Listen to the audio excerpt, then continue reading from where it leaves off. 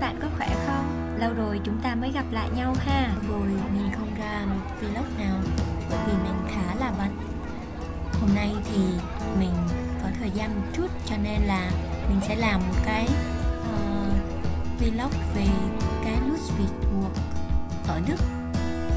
Mình đến đây vào một ngày trời không được nắng lắm ha.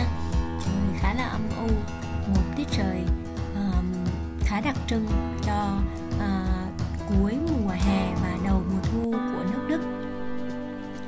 Ở đây thì có một công viên khá là uh, xinh đẹp và ở đây hàng năm thì diễn ra một cái lễ hội đó là lễ hội bí đỏ. Và lễ hội này thì uh, đây là lần đầu tiên mà biết đến đây luôn. Đi từ ngoài cổng chính vô á, thì các bạn sẽ phải mua vé ha. Thì vé 10 đồng à, quy ra là khoảng là à, 260.000 đồng tiền Việt Nam.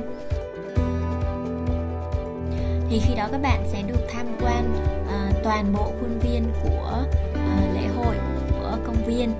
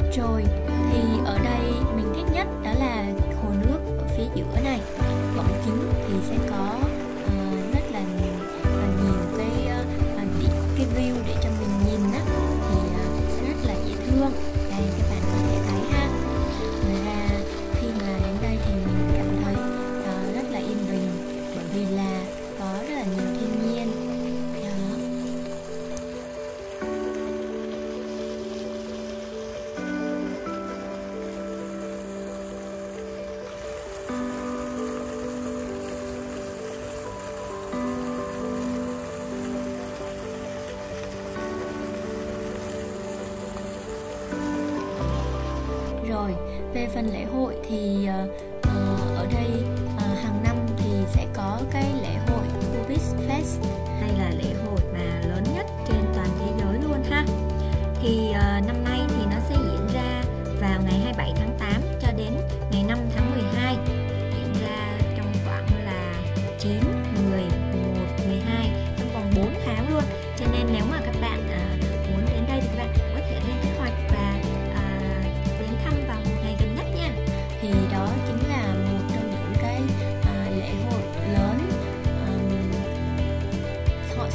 Sẽ uh, ờ, tất cả những cái uh, mô hình lắp ghép từ những quả bí đỏ uh, thành những cái thế giới cổ tích ha và những cái câu chuyện mỗi năm sẽ là khác nhau.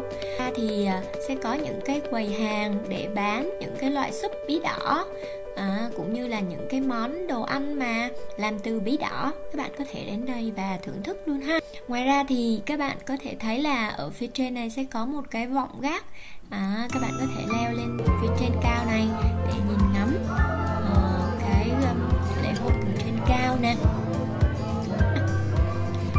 Đó thì uh, khá là